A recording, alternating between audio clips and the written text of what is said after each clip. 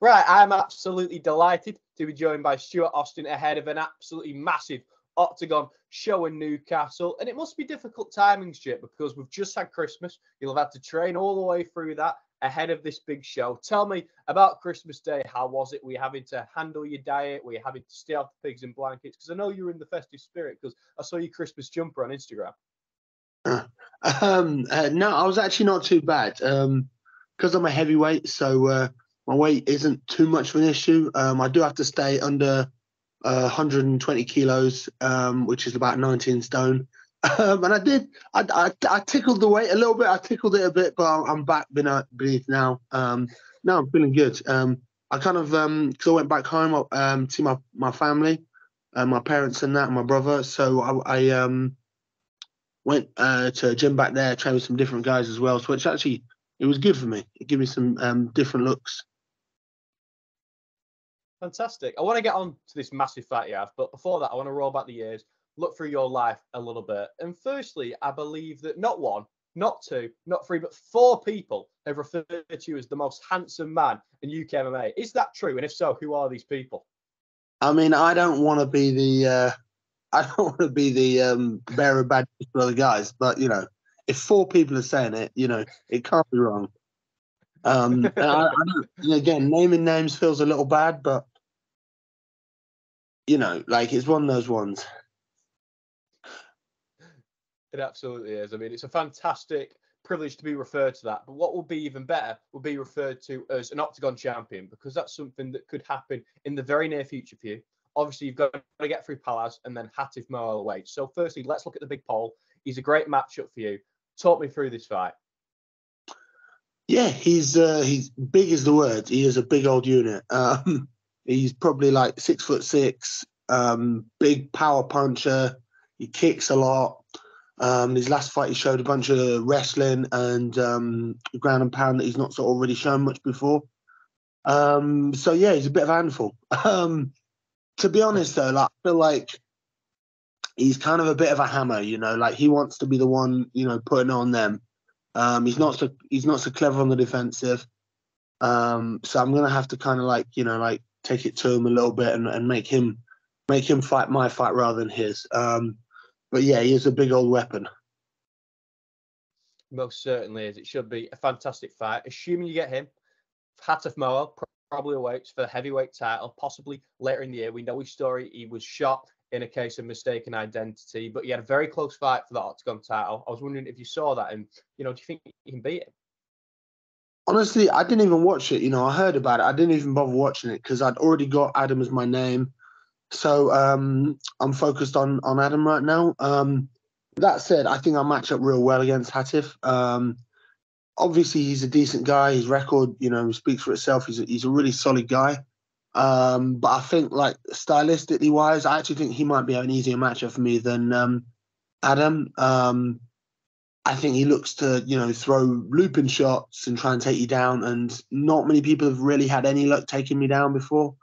Um, and I think he's kind of like he's a little bit short for heavyweight. He's a little bit, you know, like swingy. He doesn't really set much up. Um, I just think the matchup's good for me. He's he's a he's a solid fighter.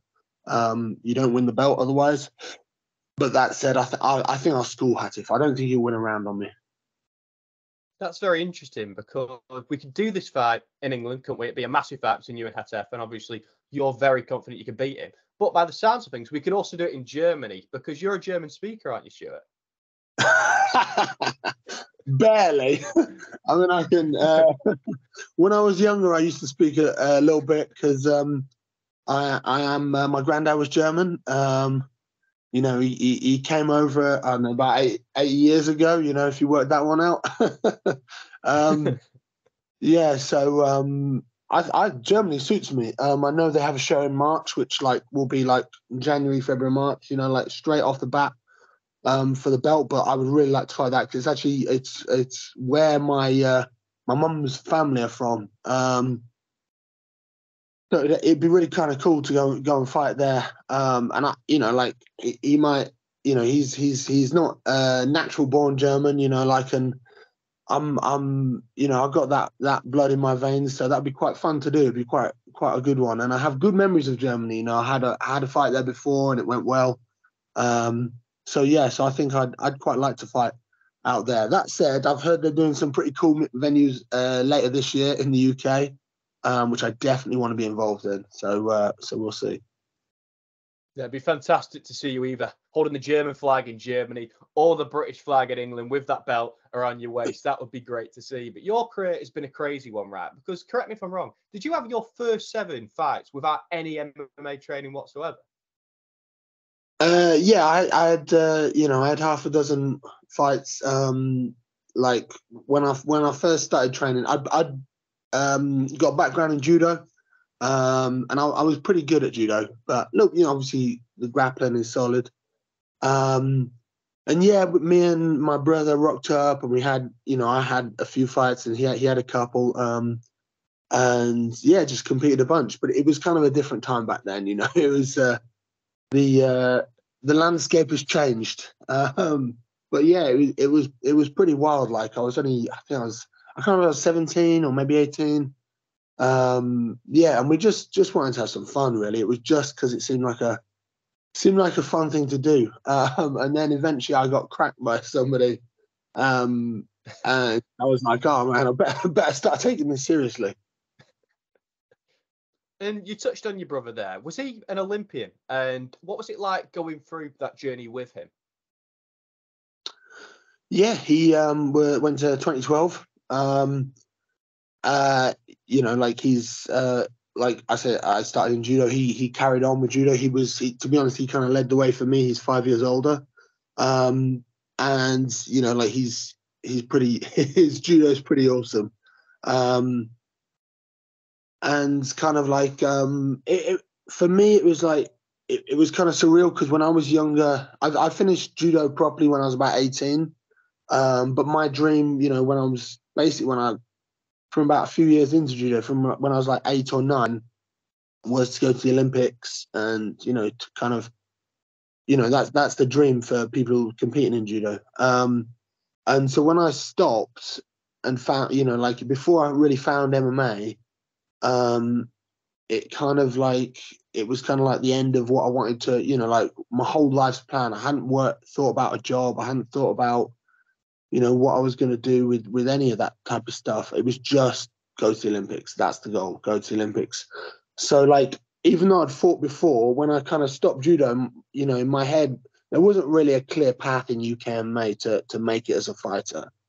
Um, so like it was kind of like the end of I was like, what the hell am I going to do? And I kind of stumbled around for it was only like six eight months before I I started training properly and working things out and um yeah, once I, once I kind of went from there and found judo, then it was kind of like, um, just kind of went, you know, went running from there. Um, but like, so a few years later, when my brother actually started, um, started, um, went to the games, it was absolutely insane. Like, just because it's one of those ones where you, um, you, you kind of see like obviously like it was his dream as well but like it's you know my, obviously I, I, I, love my brother so much and uh, to see him achieve that um while you know, like in a way, it's kind of a reflection of what I didn't do. Um, it was crazy emotional. It was crazy emotional.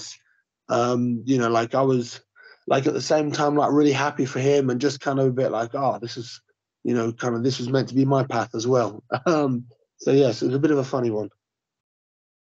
It's amazing. Obviously, he went on his path and did amazingly well. You've got on your path and done fantastic things, leading to a massive victory in your career over Tom Aspinall. We know how well he's done in his career, winning the UFC interim title. Talk me through that fight. Talk me through the submission and how amazing it is for you to have got that when considering everything he's gone on to do.